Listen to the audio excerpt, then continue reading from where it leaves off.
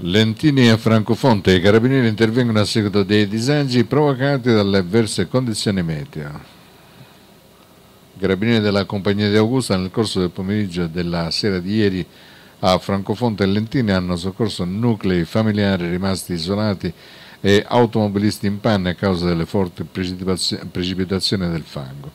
Sotto il costante coordinamento della Prefettura di Siracusa, Carabinieri, Vigili del Fuoco e Protezione Civile sono intervenuti in riscontro alle numerose richieste d'aiuto, agendo in contesti particolarmente difficili a causa delle condizioni di molte arterie stradali, in particolare le strade provinciali in direzione di Scordie tra Carlentini e la frazione di Pedagaggi non erano transitabili per la presenza di detriti, fango e alberi caduti. Incontrata Conte di Lentini, i carabinieri hanno richiesto l'intervento di una unità proviale dei vigili del fuoco per soccorrere una famiglia rimasta bloccata dal fango.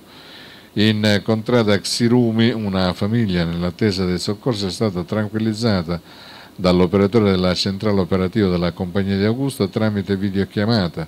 Nonostante i notevoli disagi, tutte le operazioni di soccorso sono concluse con successo.